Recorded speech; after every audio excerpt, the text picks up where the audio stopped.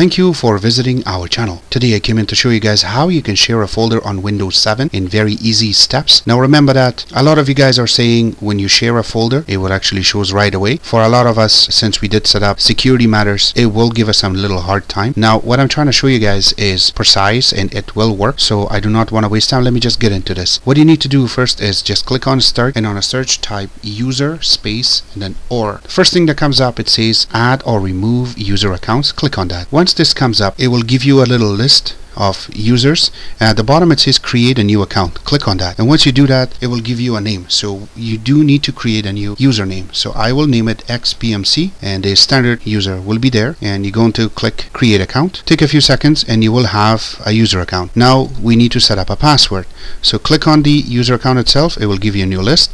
Second one will say create password. Click on that. And you can set up a really long password but since I'm trying to make this video I will make it really short and very simple password. So I will just name it PASS pass and I'm not going to put any hints. If you do want to put one you can. This way if you forget you will just find it very easily. So I will just click on create password and that's it. What we need to do now is just get out of this. We need to go one more place and this one is called called manage advanced sharing settings. So you will click on that and now it will give you a set of settings.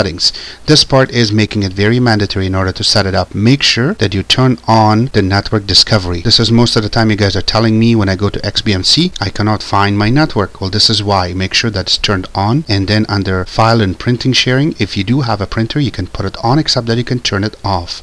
The third part of it says public folder sharing. I always leave it on. This way, it will be shared. The other part is says media streaming. Now, I didn't set up anything here since I am not going to be sharing it something like with Windows Media uh, Center itself. This is Xbox Media Center that I want to set this up with so we don't have to worry about this part. File sharing connection. There is a support for 128-bit encryption. Now I'm not going to put that on. I'm just going to put it on the little one. This way it is just internal and it's not going to go outside on the internet. This is just for myself. And it says password protected sharing. I did turn it off just in case if I can get in without password. I will love that. And home group I just turned that on and I said allow. This way we can see the files. So that part is done. There is another part for public public. Now remember I'm not going to make a public sharing so I'm not going to put this part on but it will be exactly mimicking the top part for the home group. Once this is done you can click save changes and just get out of it. Now we will add and we will share a folder. Now I do have a bunch of folders and what I'm going to do is I'm just going to share one of them here. So I will share the backdrops.